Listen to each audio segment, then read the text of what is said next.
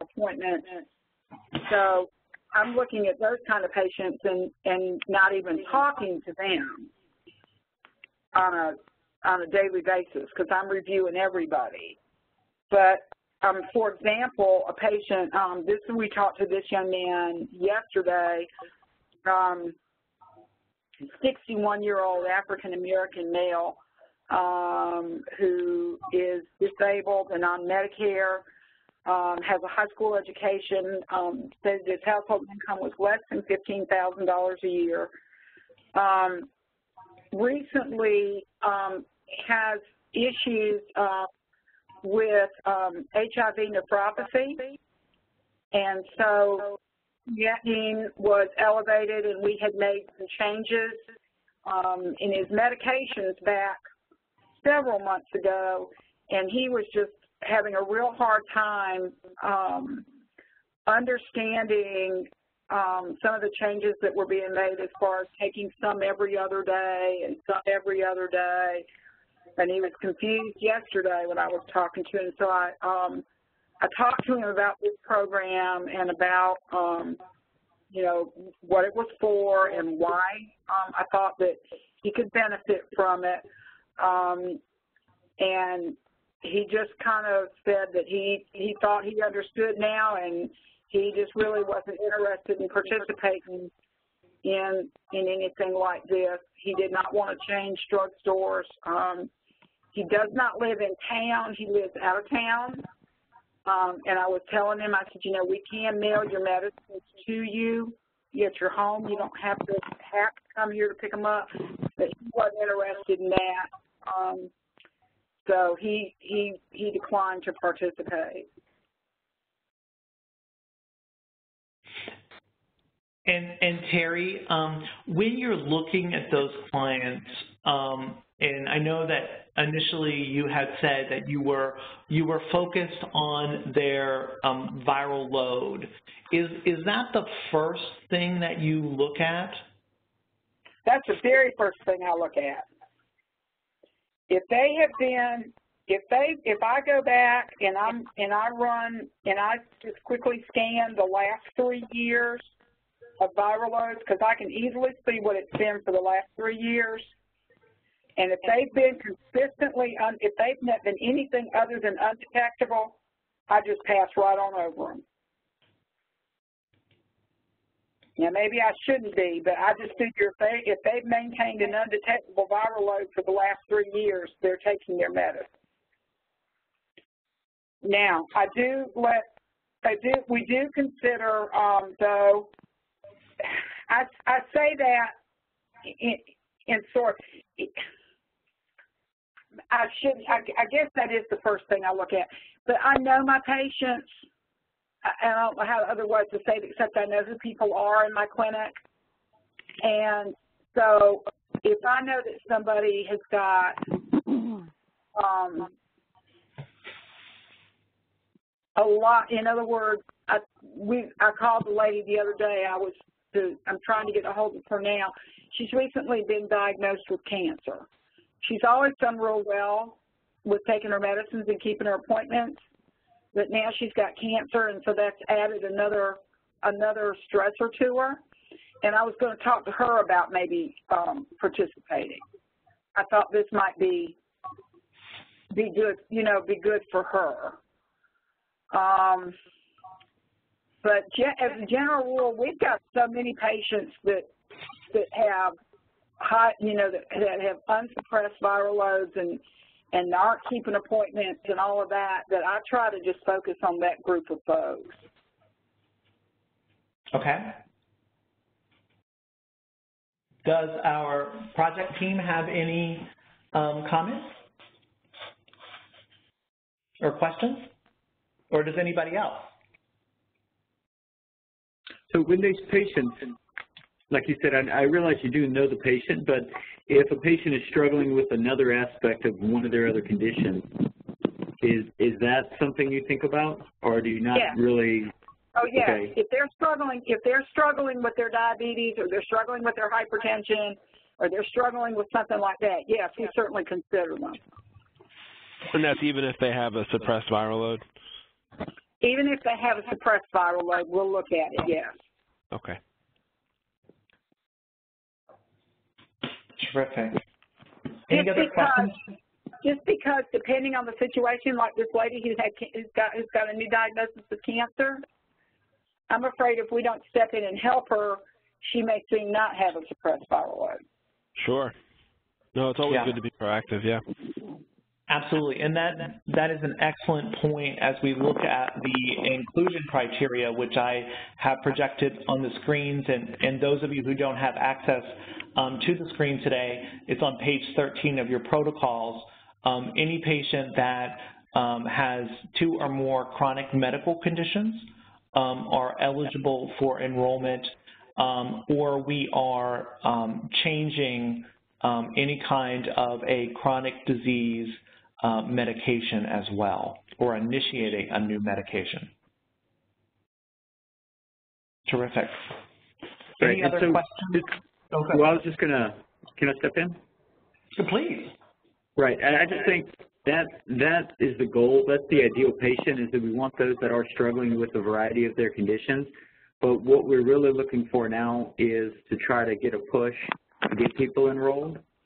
And you know, if it if it becomes referring people in who might just need a little tweaking here and there and don't have major issues, then that may be what we have to start looking at in order to get the numbers that we need to get.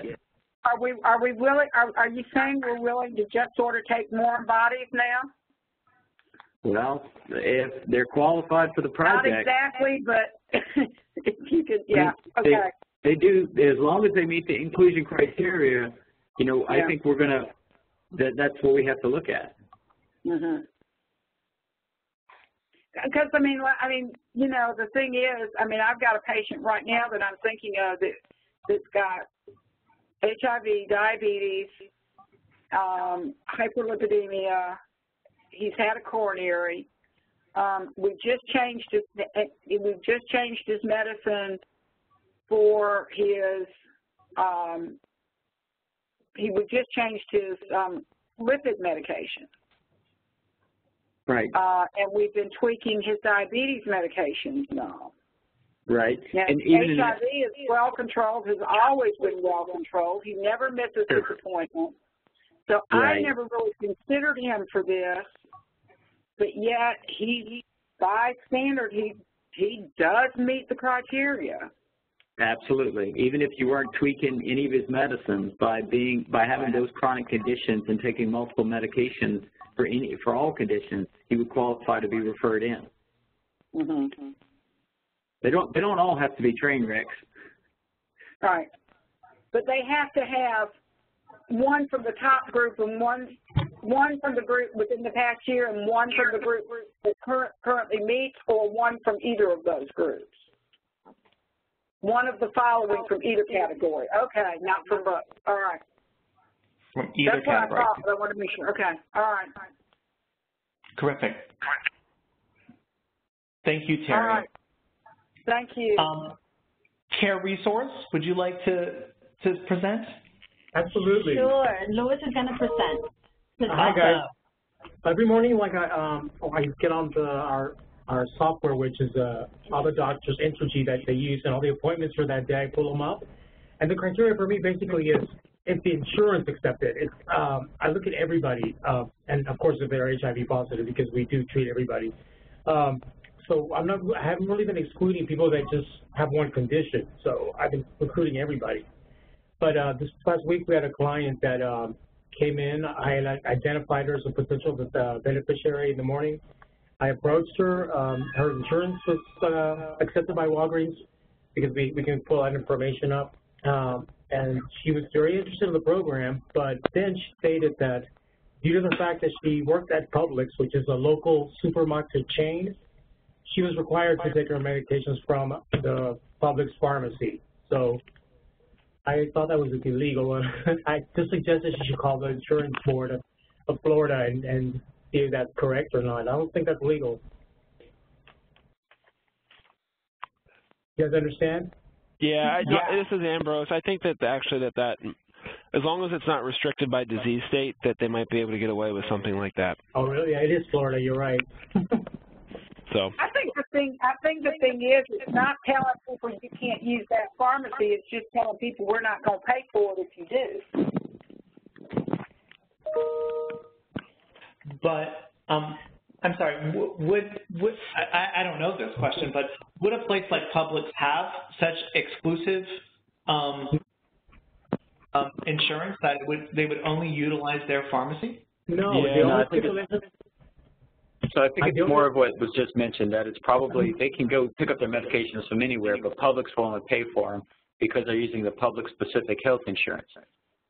Ah, So that's, that's a different thing. But that was, that would be, that would be an example of a patient who couldn't participate in the project because they could not pick up their medications from Walgreens, just, they would be able to normally pick them up, but they're just precluded by their um, provider, uh, by their health insurance.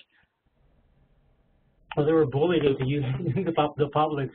Well, the, the problem is with this client is that she actually works at Publix, so the, the company she works for Sure. is making her choose Publix, and that's why we told Okay. her to call insurance. Do you, Right. do you have do you have another um, client that does We not uh, have an others. insurance an insurance issue? Uh, yes, uh, we have another case where also the client, uh, has, Does not have insurance. oh, they doesn't have insurance issues? That's the only issue we have. That's the only issue, and and within that, there's several other issues. Well, for one insurance that has different plans that we can't, we don't have contracts with, or if they're below 400% poverty line, and then they have their medicines through, uh, the health Yeah, the, department. the, the major issue that we're having is, uh, it's the health insurance issue. Nobody, everybody else is, there's no problem here for that. Yeah. Okay. Um, let's uh, let's go to um, uh, Truman. Is Truman on? Hi, this is Rose. Hi, Rose. Can you hear me? Yes, we can. Oh, good. Well, you know, so for this past week, unfortunately, the answer is the answer I can't give you. Um, that is the most common. I can tell you that we've worked hard for patients who say they don't have time to work with Walgreens to get them scheduled around their clinic visits, and that's been uh, very helpful. Um, our pre-screening of charts um, often is fruitless because those patients don't keep their appointments for us to talk to them. But we have met twice with Walgreens and with our data people uh, to talk about the process. So we're actually creating um, sort of a screening tool that's going to go with the patient to give to the provider so the nurse who triages the patient is going to um, be able to check off some information quickly around whether or not they meet the the, the high important stuff like that they're HIV positive and older than 18 and currently on ARTs or planning to start and have been seen at least twice. And then the provider will then have a look, a checklist of things they can check off and at the bottom they can then say the recruitment results that the patient did not meet participation criteria or they met criteria but don't want to participate and and they did meet criteria and they want to participate, or they will mark not discussed with patients. Um, because this is an academic center, a lot of times the med students, the residents, the fellows can't keep track of everything. So we thought this might be a better tool, and we're going to try it with the patient being given the, the sheet by the nurse with the instructions they hand it to the provider when they enter the room. So we're hoping we have a, a a cleaner way of streamlining this information and getting patients referred quickly. So I Terrific. didn't really answer your, your question, but I'm giving you what we're going to try to increase, in- increase our recruitment. Okay. Um, and did you have did you have any patients this week that were not able to be screened other than that they didn't show up or they weren't referred? We actually have four referrals for this week, so the people we did talk to wanted to participate, so. But the most common reason is they don't get their meds at Walgreens, and with one provider who sees a Spanish-speaking client, he prefers they go to another HIV specialty clinic that has Spanish-speaking staff. So That is just something I can't overcome. Yeah, a Spanish-speaking pharmacist. Is it, is it a pharmacist or a tech? It's a tech that's Spanish speaking. Ah, oh, okay, okay, got it, got it. Um, okay. And um, so, um, how about Mazzoni? Oh, hi.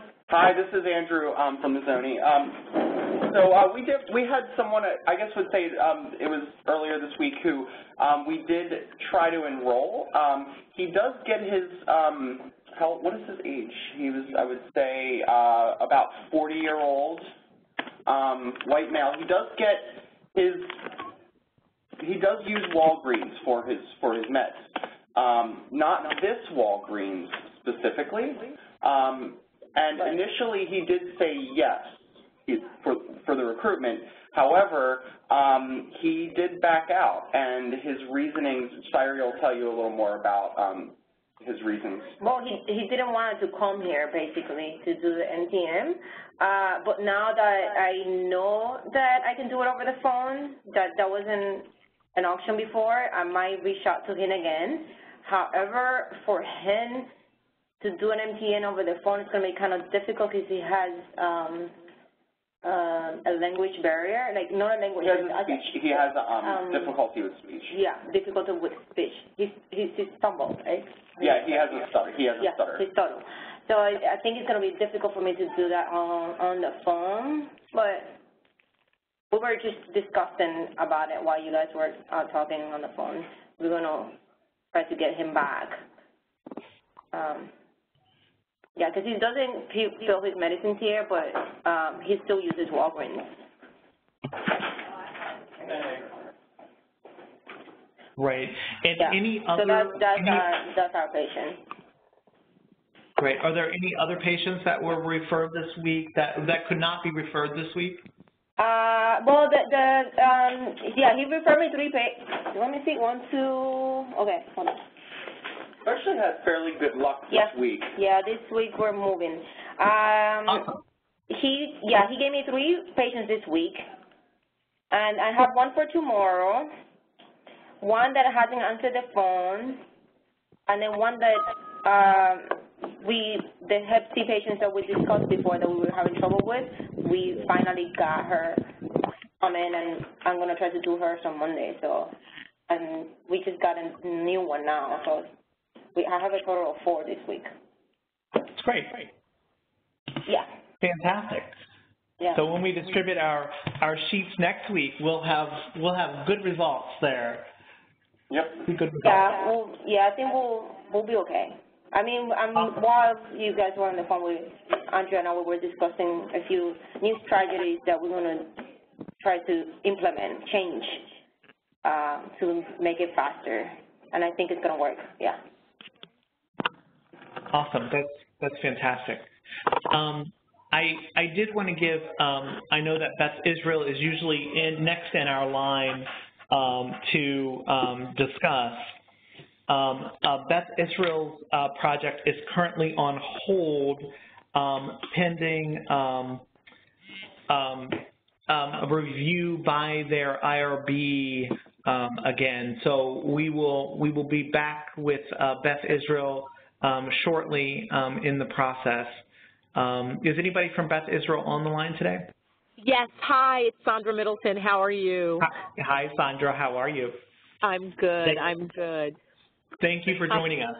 And thank you for having me. I, I mean, I was I, I do have some information because we did start recruiting prior to our hold. Oh, um, please. and the only the only uh, situation that we encountered here is that many of our patients in our outpatient setting going to the clinic for a very long time, and there are a couple of local pharmacies where they have a relationship with the pharmacist.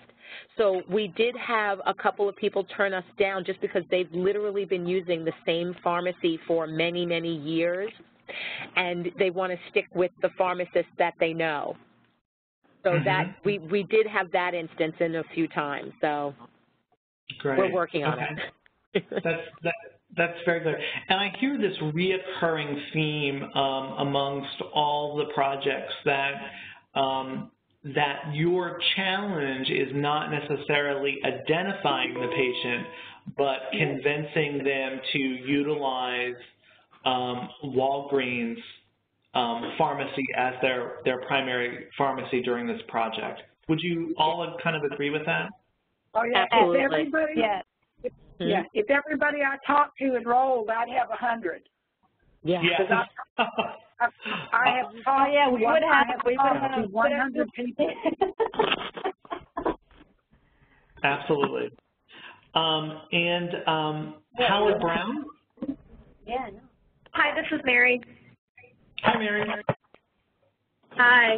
Um, so Diane is actually down in our clinic right now consenting someone, so I'm going to just uh, give a little, yeah, right? Um, so she actually, uh, at the beginning of the call, was also in the clinic consenting someone. Um, and the individual said that they didn't want to participate in the program because they already have a really good relationship with Drew, who's our pharmacist here at our Sheridan Road Clinic. Um, and I think that this is something that we've seen a couple of times, is that the patients already have such a good relationship with Drew and have been utilizing the Walgreens pharmacy that we have here in our site. Um, and it's hard for us to get them to see the value of the program since they're already working with our pharmacists so well. Um, so that's something that we've experienced a few times in our recruitment. Um, Diane is still um, giving them the consenting information in her card and letting them know if they want to reach out and change their mind, they can absolutely enroll in the program. Mm-hmm. Great. And Um, are and these, uh, yeah, go ahead. I'm sorry, I was going to say, are these patients that um, you are identifying that have that relationship with the pharmacist, um, are, are, they, are they patients that really kind of, um, that fit the profile as, as not being virally suppressed or? Yep. Wow. So what we do, um, every day I run a report out of our um, electronic medical record for patients coming in the following day um, in both of our sites that have a viral load over, that their last um, lab draws had a viral load over 200. Um, so then we send that report out to our um, patient-centered medical home care teams every evening for the next day's clinic, and that's who we have been uh, prioritizing in the recruitment efforts. So this is Ambrose. Um, maybe a thought uh, for these patients might be that um, we can explain that even though they, they have a great relationship with Drew, and, and we know Drew does a great job, um, by taking part in this project, it actually will help Drew have more information about the patient to make better um, decisions and help improve the patient in maybe a different way than he's been able to do in the past. Sure. Yeah, and I think Diane is, you know, definitely giving them that information, is encouraging them to, you know, take it home, look at the information, um, and then, you know, we can see if we can maybe do some follow-up with them as well, you know, like a week later to see if they have read it over and have any questions for us. But yeah, I, I, that'd be I great. can, I can totally see that being uh, why patients would say that with your site, though. hmm Yeah, I mean, Drew's been with us for so long that I feel like, you know, both Drew and Brittany, that our patients, I mean, it's a pretty intimate setting, so, um, and it being right here in our clinic, you know, they come out from their appointment with their providers and go directly over uh, and talk to Drew and Brittany. So, I mean, it's a good problem to have, but it's a trend that we are definitely seeing. Yes. Um, I'm wondering if it might be helpful um, if Drew and Brittany, the pharmacists in this case, um, encourage that client to enroll. Okay. So, Okay, yeah, we could um,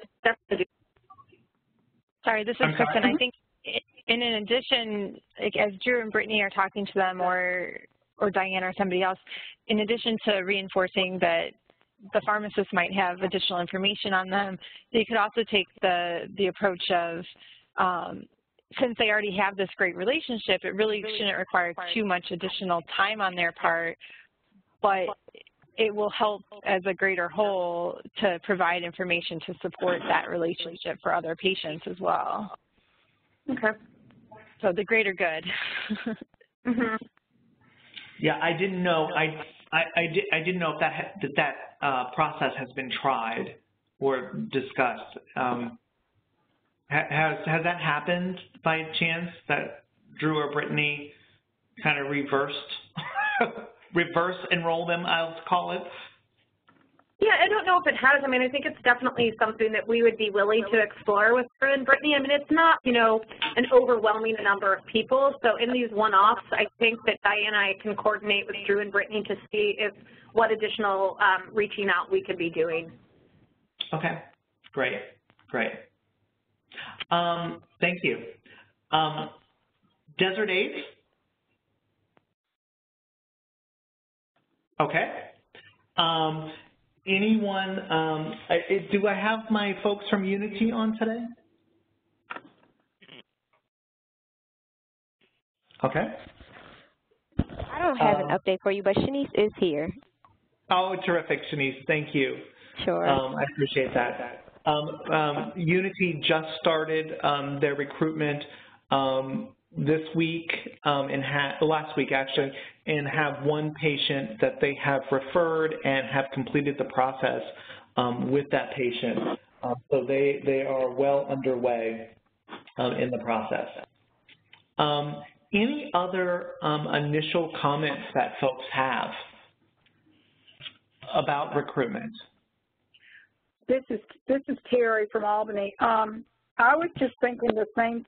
I think something you were talking about a minute ago about whether we can kind of reverse recruit a little bit, whether the pharmacist can identify patients that they're you know that they're serving in the pharmacy, but that are not that they know are not a part of the program, um, and maybe mention it to them, especially. I mean, I'm thinking like there may be things going on with the patients that would make them suitable for the program that we might not necessarily know about, especially if we're not doing their primary care. Um, we may not know about changes that are being made in their diabetes medicine or changes that are being made in their cholesterol medicine um, or something like that. Um, and if the pharmacist could say, you know, you're already coming here, we'd love for you to participate, and then they can just send them over to talk to me. They don't have to, you know, do the whole whole spiel. That might help us get some folks as well. Ab absolutely. I think that, that that's a, a great suggestion. Um, and um, if um, I know that there has been some discussion from the project team um, about um, having something formal um, happen like that, and that's still being explored. But but but definitely, I think that it is uh, as part of the, the local team, um, the Walgreens and the, the, the clinic, um, having them work together on identifying those, those clients could be very helpful. Well, and I wonder too, you know, I mean, we made up these flyers and little, little posters and stuff, but we didn't put, we didn't think to put any of them over at the Walgreens. You know, and maybe we ought to at least put the little flyers over at the Walgreens so that when the folks are in there getting their medicines, they could that see sounds it. like a great idea. If they haven't already been told about it. Mm-hmm. Sounds like a great idea. Absolutely. Michael, Linda has a question in Broward. Yes. All right. Um, I had two clients. Um, they they were referred to me from another doctor. It's not Care Resource, but we have a nice working relationship in which I actually want to sign them up because they do come here for Walgreens. And what I did was I got um, a release of medical information so that I can work directly with the doctor so that the pharmacist also has access. Is that okay? Can I do that or, or no?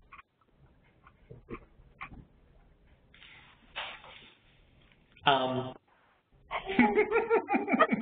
it's a big question, but I'm just saying I I can get clients. I can get a lot of clients from these doctors, and they're willing to work with us. But I need to know is it okay?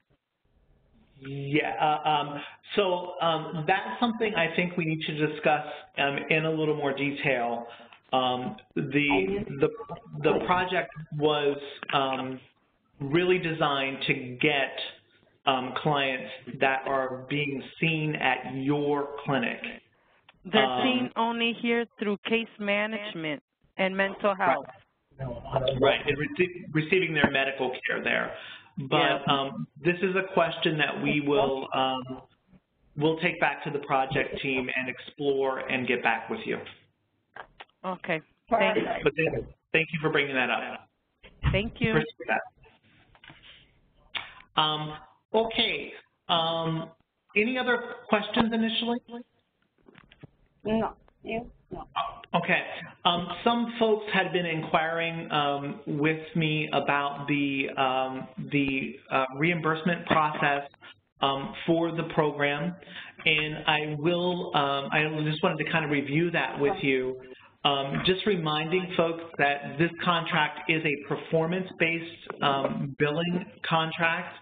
so uh, with that goal of reaching recruitment by May 29th, um, individuals will receive um, $120, $125 per um, form submitted um, in the process. So the initial, the initial funding for the program was to uh, was for training and for recruitment of the target um, the targeted goal goal number um, of the clinic. Um, so that that's kind of where we are at this point um, with with that system. Um, and so as soon as we we get enrollment really started um, and moving along quite nicely, then um, reimbursement will will start coming back to the sites. additional reimbursement. how the the sites, how we do the quality monitoring of that um, is that we use um, your progress monitoring Excel sheets that you sent you send to us on a weekly basis as a way to validate your submissions of your forms. Um, we then, after we validate them, we will return that document um, to you um, indicating um, the number of forms that were accepted, um, and that documentation will be the documentation that will be used um, for the invoicing process and for billing us uh, for the program. Does that does does that help clarify some things for folks? Yes. Okay and we're, we're, happy to have discussions with uh, with groups offline um, as well uh, regarding the the process. Um, I also just wanted to remind people about the abstract and publication uh, process um, that all um, abstracts and publications that are produced um, has to be reviewed by the project team leadership and it must go through clearance um, at CDC um, prior um, to submission um, of that abstract. So, it, and typically that takes um, some time for that to happen, and we're requesting folks give at least six weeks notice um, prior to an abstract deadline so that we can get that process in place and your abstract reviewed and cleared uh, prior to the deadline. With that being said, um, Kristen, um, part of our project team, um, did submit an abstract um, to uh, the International Conference on HIV Treatment and Prevention Adherence, IAPAC, um, and that conference is uh, occurring on June 29th um, in Miami, Florida, I believe, and wow. I have presented the title of the abstract there for you as implement, implementation of a patient-centered HIV care model to optimize HIV outcomes through improved communications between pharmacists and providers. Um, this also um, this also kind of piggybacks on our, our my next topic. Um, I had distributed um, Excel sheets to individuals uh, individual site leads um, asking for updated contact information for anybody at your site who is working um, on this program for their contact information um, uh, to be provided to us. And this is a way for us to stay current um, with our reporting um, to um, both IRB and um, to CDC. And as part of that process, we did denote, we did note that um, we were requesting that two individuals at each site be identified as um, authors um, on abstracts. Um, we want to be able to have the individuals who are really uh, working on the programs that are collecting uh, the data and, and, really driving this program to be included in that. Um, as we move through the project, um, we will be, as we submit um, uh, manuscripts for publications um, and, and abstracts, we want to be able to acknowledge um, these key individuals um, in, in that process. Um, and also to include them in the development of material um, and publications and outreach as we move forward. So please do um, get those back to me if you've not already. Um, we do have uh, a deadline uh, that was set on that for this upcoming Friday. Um, so please uh, make sure those are returned. Um, additionally, we did ask for um, the um, project uh, clinical site characteristics form uh, to be updated utilizing your 2014 data um, and submitting to that, that to us. Um, and that is a, is a way that we can use as um, describing the clinics um, that we are, are working with in the program and what your infrastructure looks like um, as clinical uh, sites. The Walgreens uh, pharmacies, um, that is being coordinated uh, through Ambrose, uh, the documentation regarding the pharmacies that we um, are requiring um, as well. And I, I, also did want to um, alert individuals that, um, well, two things. First of all, um, Health HIV has just launched our new website. Um, and as part of that website, um, we are going to be launching um, next week the MTM portal access, which will have a variety of content um, available to you, including the flyers from the various um, sites, um, notes um, and, and, best practices, frequently asked questions, um, ways that you can download clean copies of your um, forms for submission.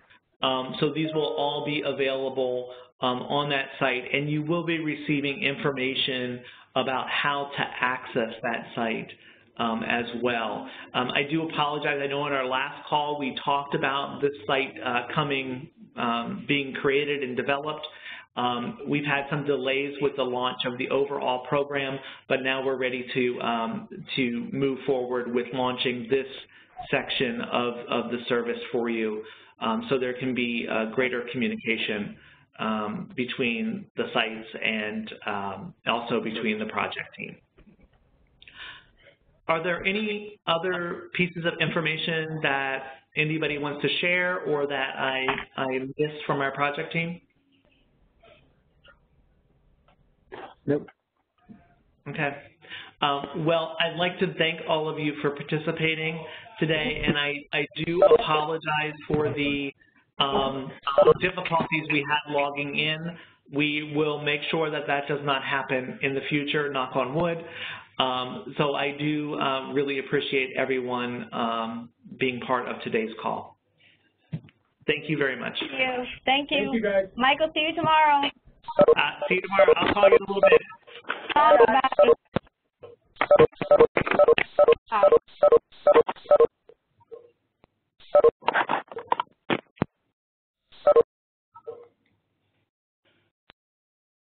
Patrick.